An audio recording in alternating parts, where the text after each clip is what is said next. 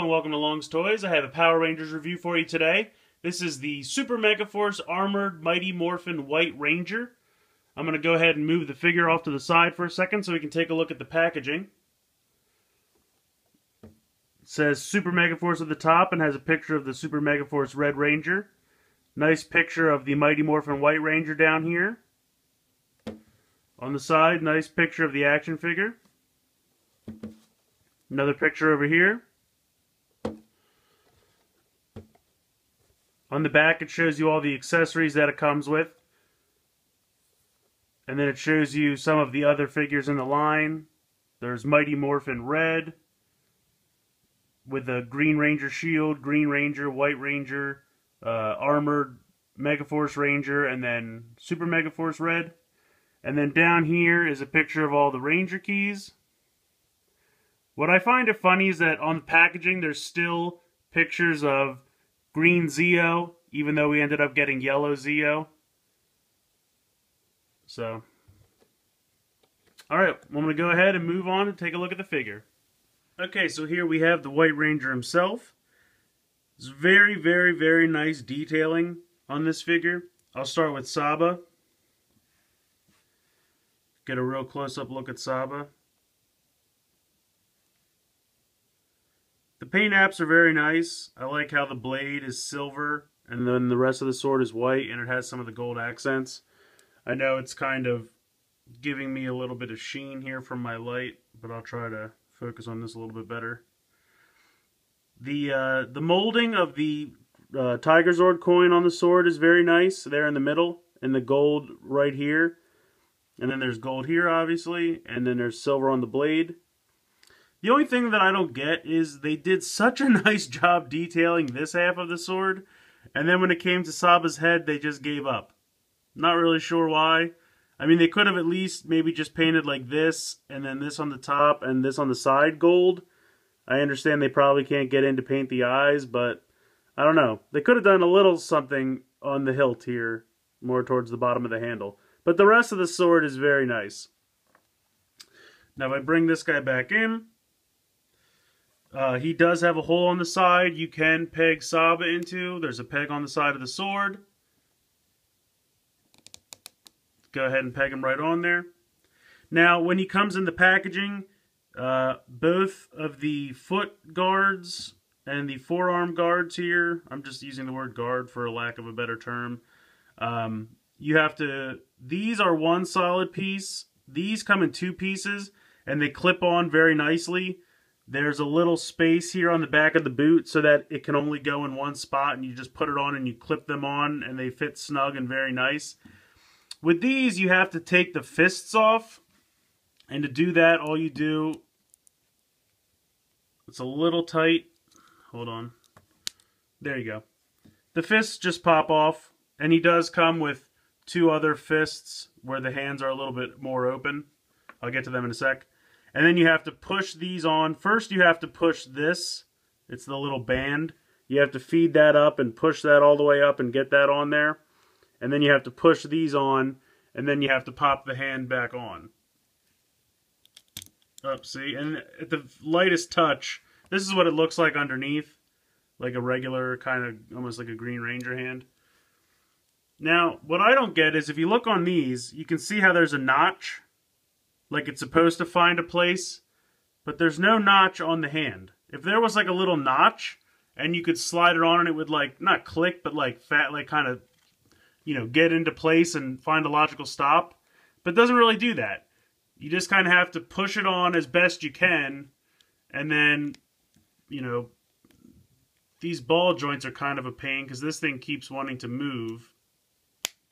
So you finally get that back on, then you just kind of have to force this back on until it stays in place, hopefully. You just kind of find, you know, how the best way that it can get on there, and then just kind of hope it stays on. I mean, once you get it on, it looks really nice, but it's just kind of a pain to get it on. This is in two pieces, split down the middle. This is like the only piece that's actually somewhat easy to remove. And he has the triangle, like the reverse Mighty Morphin, because he's white. So you just pop that back on. and that just that clips on and stays on pretty nicely. Again, nice Tiger Zord detail there on the on the front. Looks really good. I really like the detailing on his helmet. I'm going to try to get in pretty close here. Really nice detailing. I'm going to pan up a little bit just to fit it. Really, really nice painting on the helmet. Really pleased with that. Nothing on the back, obviously. Alright. Articulation-wise, his head swivels from side to side. It is not a ball joint, so he... Oh, it is a ball joint. But very limited.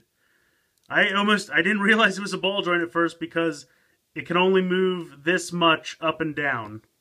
Sorry, let me back up. It can only move this much up and down, so it's not a whole lot. It mostly moves side to side. The arms at the shoulder are on a ball joint. They can go up and down and spin all around. There is, uh, right here, right where the gold band is, this can turn. There's a swivel there. You have 90 degrees at the elbow. The forearm can swivel right at the where this is. I apologize for that. The phone video cut out very quickly there. So, as I was saying, the hand is on a bit of a ball joint here where you attach the hand, as I showed you previously. But then there's also a tiny, there's a swivel right behind that so that the hand can kind of move in from side to side. And I think that rotates as well. It's kind of hard to, the hand just kind of goes up like this. It's nice for, or, no, that ball joint I think does move too, but it's kind of hard because you kind of have to take the hand off to kind of get that to move. Uh, does it have waist? No, I don't think it has waist articulation. But the the hips are on a ball joint as well. I'm going to remove Saba just to show you. You can rotate out like that and up. There's a swivel right below that so that the leg can move. You can kind of see this like leg muscle is kind of there to hide it, which is a nice little touch. Then you have 90 degrees at the knee. Well, not quite 90 degrees, but very close. And then again, where this like guard is, shin guard, there's a swivel. And then there's a limited movement here on the ankle. So all told, he has several points of articulation, and he's a very, very nice figure. The detailing is nice, and I really like the articulation. Now he does come, this is his kind of normal set of hands that he starts out with. And Saba can fit very easily into the hand. You can, like I said, it's a bit of a pain to pop off these hands. But you can, now see this does, I think this does turn. Yes, this does turn too. And I'll show you see how there's a there's a swivel there. And I know the light's bleeding this out and I apologize. So you can turn that however you want that so you can go side to side or up and down. Now the other set of hands that he comes with are like an open set of hands.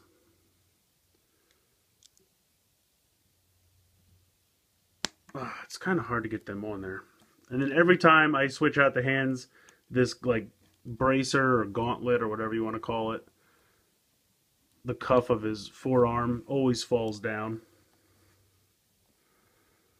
There we go.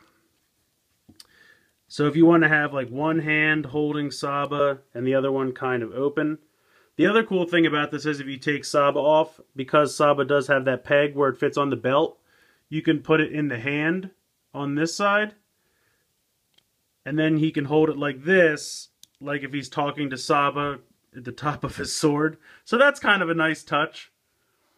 The other hand does not have a peg. It's just an open hand.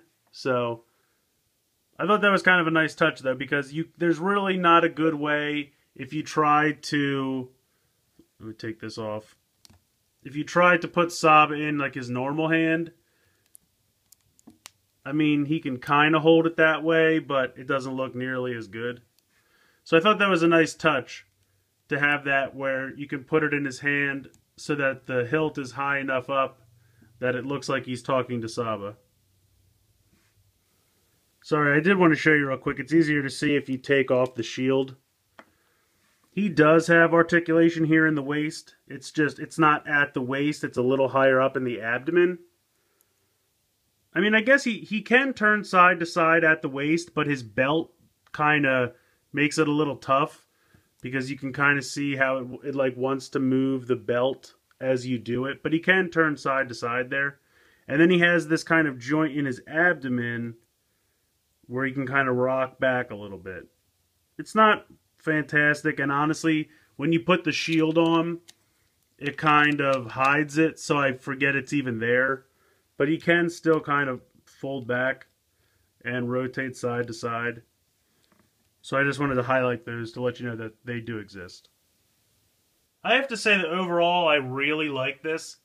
I found it at Toys R Us. Uh, they range anywhere from about 17 to $20 depending on what areas. I've noticed that some Toys R Us's, depending on what area they're in, are a little bit cheaper than others. Like if you're in a little bit ritzier area. Um, like I, I found this one at the Times Square Toys R Us, so it was definitely 20 because it's a higher price in New York City. But I definitely think it's worth it. It's a very reasonable price. You get a very articulated figure. It looks great. The attention to detail with the paint and the articulation points, I think it's really well done. I'm not the hugest White Ranger fan. I definitely fall more in the Green Ranger camp as far as Tommy goes. But I really like this thing. I've been looking for the Green Ranger one for a while. Have not been able to find it.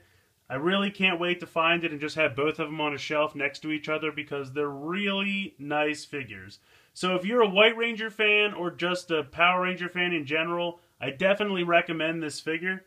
I think it's really well done and definitely worth the money. And it's definitely cheaper than a Figuarts, which I know it probably doesn't have as many points of articulation as a Figuarts, but I think it's pretty close. It's very nicely done. But please, tell me what you think in the comments. Please like and share this video. Please make sure you're subscribed on YouTube. Also, I have Facebook and Twitter. The links will be down in the description, so please check those out and follow me on both of them. Mentioned in my last video, I'm coming up on my 100th video, so I'm playing a giveaway. Details to follow, but please make sure you're following me and subscribed on everything so that you'll hear the details as they come out. I hope you've enjoyed this video of the Armored Mighty Morphin White Ranger, and thanks for watching.